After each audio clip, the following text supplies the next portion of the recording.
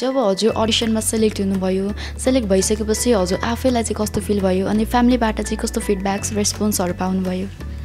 फ्यामिलीबाट response feedback त राम्रै पाएँ। अब सपोर्ट गर्नुभयो मतलब ठुलो बन राम्रो गर भन्नुभयो नि आफूलाई चाहिँ एकनासमा अलिकति सरप्राइज भयो ओहो म सेलेक्ट भएर यस्तो टाइपको थियो अनि हजुर नर्मली घरमा चाहिँ के गरेर टाइम स्पेन्ड गर्नुहुन्छ?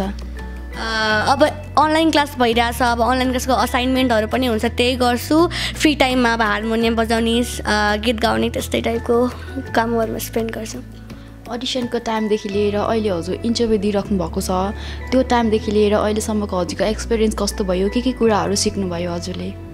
अब एक्सपिरियन्स त धेरै राम्रो भयो होइन। मैले यो प्लेटफर्म पाउँछु भन्ने कहिले सोचे पनि थिएन। नै अब मैले सिकेको चाहिँ त्यही पोस्ट दिनको हो। अनि पहिला म क्यामेरामा अलिकति नर्भस टाइपको फिल हुन्थ्यो। कन्फिडेन्ट भए पनि अलिकति भित्र हुन्छ नि त नर्भस टाइपको। अहिले त्यस्तो हुँदैन त्यही हो। मेरो प्यारो मान्छे तिमी एक्लै नजाउन जाने भए मलाई पनि साथै लैजाउन थ्याङ्क यू हजुरको अहिलेसम्मको एउटा ह्याप्पिएस्ट ओर मेमोरेबल मोमेन्ट